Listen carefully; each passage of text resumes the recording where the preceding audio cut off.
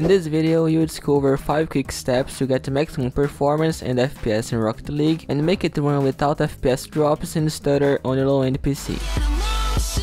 Hey what's up, I'm Victor and welcome to another video of this channel. In the first step, you set high priority in Rocket League to make your system dedicate maximum performance to it and fix FPS drops. First, download the compressed file high priority Rocket League through the link to the description below. After that, unzip it by using an application like WinRAR or 7-zip. Now right click on the registry file high priority and click on merge, then click on yes and ok to save the change. And lastly, if you want to undo this, just run the registry file default priority.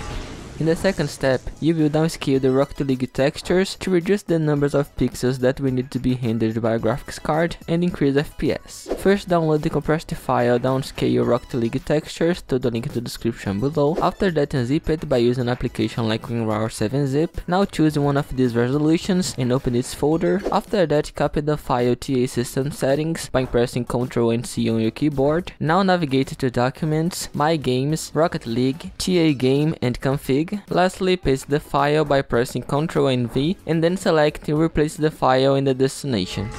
In the third step, you enable the high performance graphics mode in Rocket League to make your system dedicate maximum performance to it and boost FPS. First, right click on the desktop and then select display settings. Now scroll down this window and click on graphics settings. After that, click on browse, then navigate to local disk C, program files, Epic Games, Rocket League, binaries and Win64. Now select the application file of Rocket League and click on add. Lastly, click on options, select high performance and then save.